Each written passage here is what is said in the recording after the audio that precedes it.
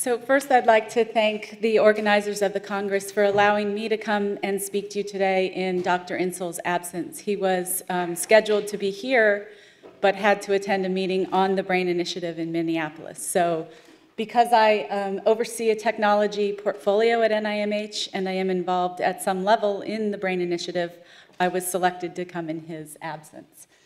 Um, As I'm sure most of you know, on April 2nd, President Obama made a big announcement in the White House about the um, BRAIN Initiative. He did this in front of 200 scientists and with Dr. Collins at his side. And we at NIH were very excited to hear about his dedication and commitment to the work that we do at the NIH. And we're, we were all very interested to know how this was going to be executed. And um, unlike Clay's talk, where he very clearly defined what the goals of Mindscope is and how the Institute is going to approach this initiative, we're in quite a bit of a different situation at NIH. And uh, I will be happy to answer as many questions as I can. Um, my, my talk is very short. Tom usually leaves a lot of time for questions. Hopefully, I'll be able to address those for you. Um, but the bottom line is we, we all know that brain disorders affect all of us. There are um, many brain-based disorders that the work of NIH is dedicated to understanding, and the, the BRAIN Initiative is um, an attempt to understand better how the brain works and how it's, what its role is in these disorders. So uh, we've listed a number of different diseases here um, that are represented by many of the institutes at NIH. In, in general, we have um, something called the NIH Blueprint for Neuroscience Research, and that represents 16 institutes at NIH that have an interest and a focus on neuroscience research. So the need is great to understand how the brain works. Brain disorders affect over 100 million Americans alone. And rates are increasing not only in, in America, the United States, but also across the world in autism, Alzheimer's disease, and in our soldiers with post traumatic stress disorder and TBI. And with those increases in these disorders, obviously there's an increase in the cost to society. Um, $200 billion alone are spent on treatment and care of folks with dementia. As you see uh, on the graph here, brain disorders account for um, the largest amount of, of dysfunction and cost in, the, in society. Oops, I'm going backwards. Okay. So the, the president's goal of understanding the dynamic nature of the brain is really quite lofty and quite unreasonable to expect that uh, this year commitment of $40 million is actually going to be able to address that. But what we like to think of is, is he's, he's dedicated to the research and hopefully with some dedicated funding towards developing techniques and tools that will study the brain in a focused way, we may be able to continue this program and find some, some great advances. So at the NIH, we support research at a, a, number of different scales. Neuroscientists are dedicated to understanding in a number of model systems, as well as research focused on the humans. And what we, what we know is that we, we're reasonably good at measuring activity through imaging technologies that we correlate with certain behaviors or activity. And we know a lot about the molecular basis of how neurons communicate with each other. But what we don't know is sort of what comes in between. And we're hoping that this BRAIN initiative, um, in the first instance anyway, will focus on developing technologies that will help bridge that gap. And so uh, one of the questions is what scale should we focus our efforts at? What model systems should we dedicate our resources to? And um, asking a group as large as the folks at NIH to come up with that uh, decision is really quite difficult. So Dr. Collins engaged the advice of an advisory committee. Um, these are not updated slides. So what, what we have represented here are a number of projects that we funded at the NIH where folks are looking at different, different scales and different models. This is just an example of work of Thomas Südhof at Stanford. Um, We've shown some work by Karel Svoboda at Janelia Farms, looking at um, imaging of of synaptic activity. And work by Jeff Lichtman and Josh Sanes at Harvard created this technology called Brainbow. Brainbow allows you to label hundreds of different cells with um, varying intensities of fluorescence. And I think there's a couple of slides shown here, how you can distinguish these different um, cells in the hippocampus, here shown in layer 5 cortex. And this is just, you know, one example of technology development that has um, advanced neuroanatomical tracing and studies of, of um, brain function in animal models. This was developed for the mouse, but it's also used in Drosophila and C. elegans. So one of the technologies that I'm particularly excited about is this recent development of Clarity. Um, Probably most of you have heard about it, but if not, I can briefly describe it. Carl Deisseroth uh, applied to one of our special programs at NIH called the Transformative R01. And this is an unusual program that allows people to um, submit proposals for really big projects, large amounts of money. They're, they're not constrained by the usual budget caps. And um, Carl came to me a couple years ago at the neuroscience meeting and said, you know, I have this new thing I'm really excited about. What do you think? And I said, go for it. Apply for it, ask for what you need. Um, and he did, and he came in with a lot of preliminary data. It was reviewed in uh, an unusual review process with these large-scale um, initiatives. Don't go through the standard study section process. And uh, after much discussion, we were able to get support for this project. And very quickly, Carl turned around and published a paper in, I believe, April of this year in Nature. And this technology allows um, a different type of neuroanatomy. He can clear an entire brain. The um, lipids are basically removed from the brain and replaced by a hydrogel. And this allows you to stain the tissue multiple times. He can stain for a variety of different antibodies, take them out, do another series. And this is um, shown in the mouse brain, but it's also applicable to any other uh, organism. In fact, the technique could be applied to any different organ in the body as well. We're particularly interested in the brain, of course. And um, we have a video just showing a three-dimensional view through a mouse brain that's stained for Thy1. And this is um, going to take you through at a low resolution and then zoom in higher where you can see full projections throughout the entire brain. So this is the type of technology that had it come, you know, a year after the BRAIN initiative was announced, we'd say success. This is really fantastic. So the bar is high. We need, we need more technologies like this.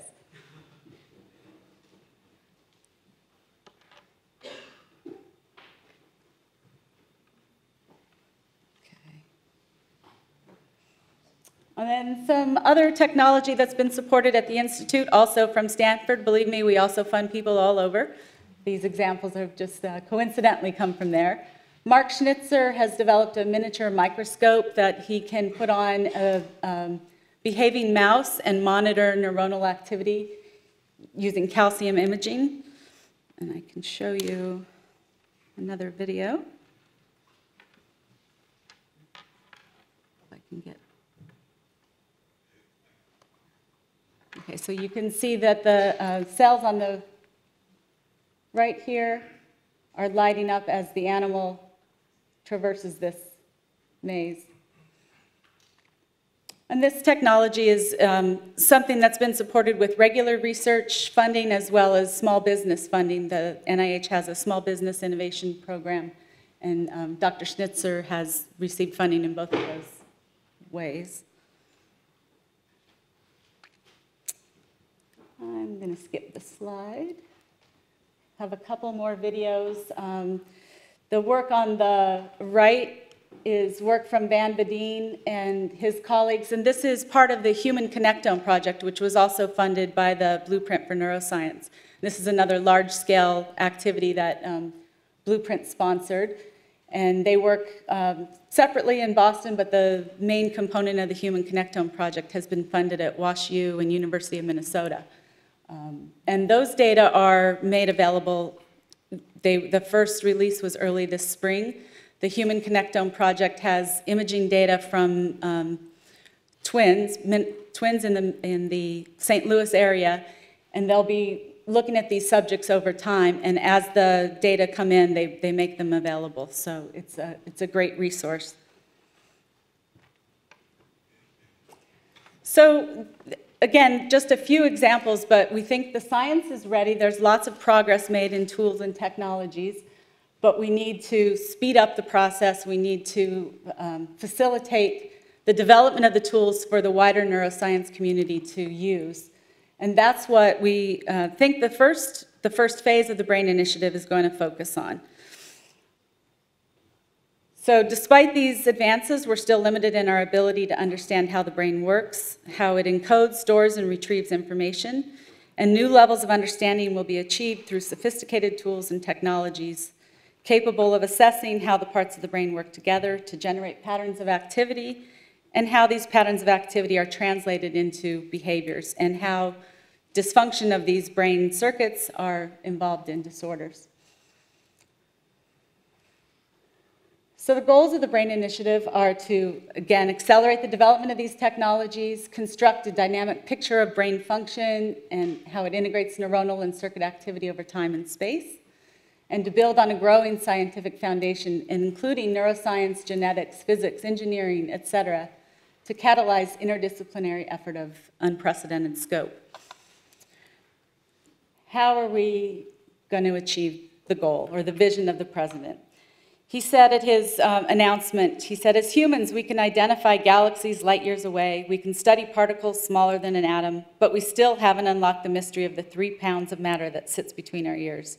But today, scientists possess the capability to study individual neurons and figure out the main functions of certain areas of the brain.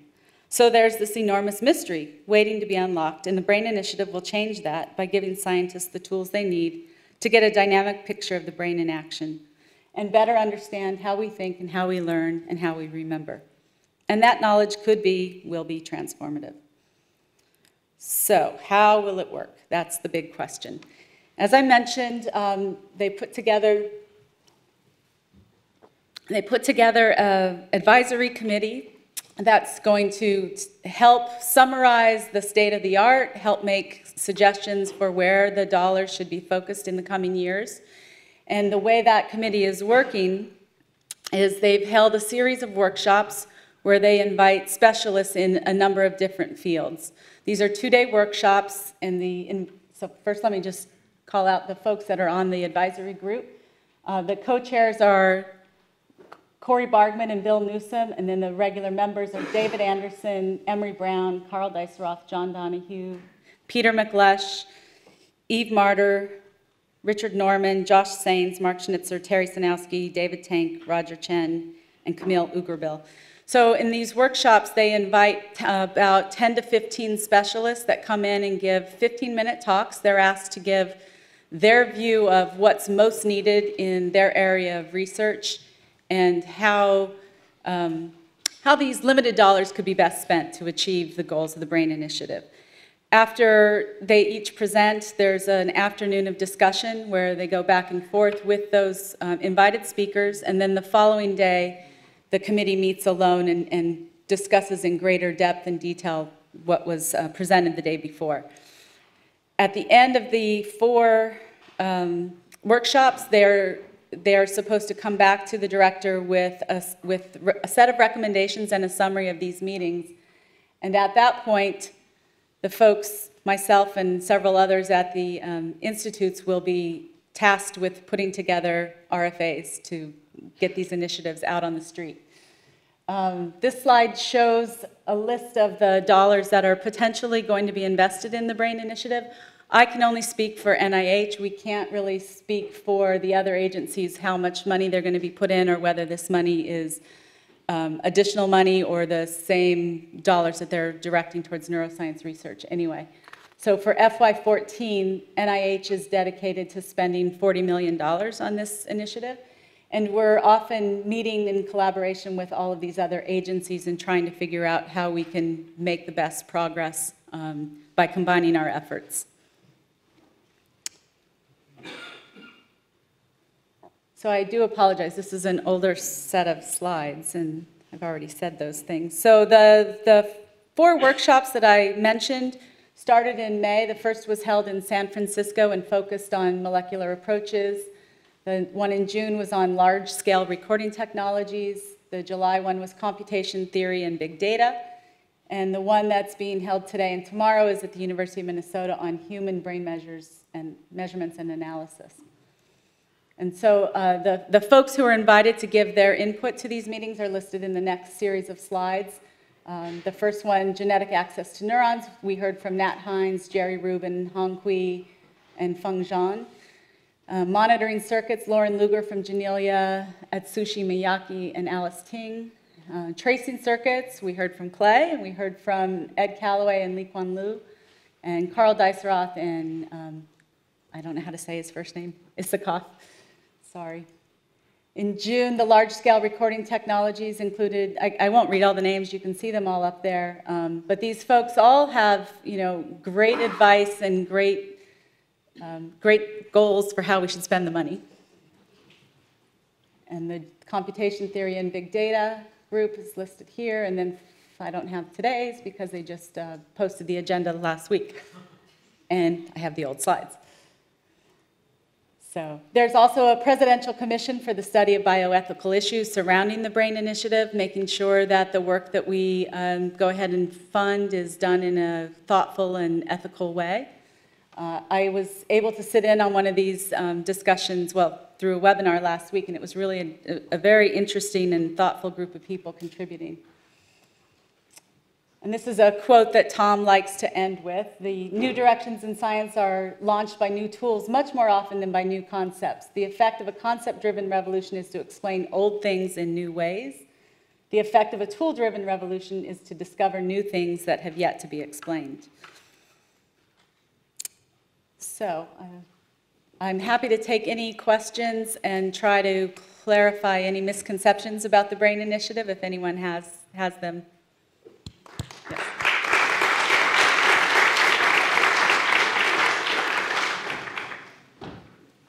You elaborate on um, discussions that may have been had on the data sharing model? So I can, I can tell you in terms of the data sharing that uh, we, my office where I, where I work, and Dr. Insel, and the Institute is very, very committed to data sharing. We've been um, involved in a number of discussions across the institutes how we can better facilitate that. So one way, we've been putting in more um, terms and conditions in awards that people are expected to share their data. There's been a, always a $500,000, any grant over 500 you have to, but we're now, especially with technologies and tool development, making that a standard exception.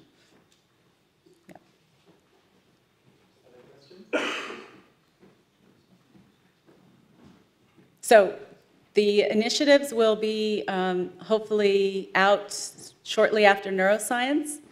As you see, it was FY $14, so they're going to be happening really quickly, so people should be paying attention. Great, thank you very much.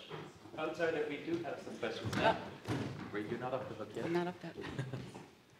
So, uh, Michelle, um, what if you're someone who's not, let's say, an engineer, you're more of a, neuro, a, basic neuroscientist, but applying some of these new tools to, let's say, new model systems? Yep. Or addressing new questions? Is that something that so from my perspective in general and, and work that we support, we're constantly trying to encourage these collaborations from neuroscientists with engineers, biostatisticians, neuroinformaticists, uh, getting people to look at a question from, from different angles. We think that it's more valuable if you have that input. Okay, thank you. So there was a recent meeting at, in uh, Washington concerning the uh, completion of the National Centers for Biomedical Computing at... Uh, I'm sorry, the completion of? The National Centers of Biomedical Computing, the NCBCs. Um, obviously, that is very relevant to the neuroinformatics community as a whole. Um, and that program is now kind of coming to an end. Now, given that uh, there are all these new um, exciting developments going on at NIH, um, could you comment on what we can expect to see in terms of the programs that will replace um, the NCBCs? So and, it's- and specifically, um, are they going to be kind of uh, smaller scale so that they can affect um, researchers at a slightly lower level than big centers, which are pretty big? So it's, it's hard to say because we have not received the recommendation from the advisory group yet. I can see that some of those programs that have been very valuable, this might be kind of a, a way to keep them going. But until we get the recommendations, and frankly, the director of NIH is going to have a lot of say in which direction we go. There is, as I'm sure you know, a, a large program now from the Common Fund, the Big Data to Knowledge program, where I think a lot of the issues related to the BRAIN Initiative can be um, addressed. And in fact, I had another slide that uh, there's an RFI, a request for information. The, I think the deadline is September 5th, so if you have some input to that, it would be great to go and put that in. Hi, Gordon Shepherd. Um, I think, as you know, there are many in the field who are concerned about the possible effect on normal RO1 funding. Absolutely. Could you uh, say a few words? So what I can say is only relevant to fiscal year 14. These $40 million are aside from our regular fiscal year 14 budget, which we still don't have. So this, this part of it will be uh, sort of organized and managed through the blueprint, and these are new dollars. What happens in the coming fiscal years, we don't know. But you know, what I say is I think that our, our focus should continue, continue to fund innovative research that's going to help us understand the brain. So, So I, I, I think the uh, key question is, will this lower the, uh, the uh, funding line? no. Now, the, the new budget may lower the funding line. Oh, yes. but this will not. Uh, one last quick question. Um, as neuroscientists, what can we do to help you give us brain initiative money? So, so like, like, I didn't hear him. like, how can we help? Could you repeat it? Yes. My question is, uh, as neuroscientists, how can we help you better provide to us brain initiative money? Absolutely. So there is a NIH Brain webpage. Type in NIH Brain. There is a place to give your feedback and comments. And really, we're listening. We're trying to, we're trying to spend the money in the most useful, efficient, helpful way. So nothing's been written yet. The initiatives are in a lot of people's heads. We're listening, and we, we really do want your input.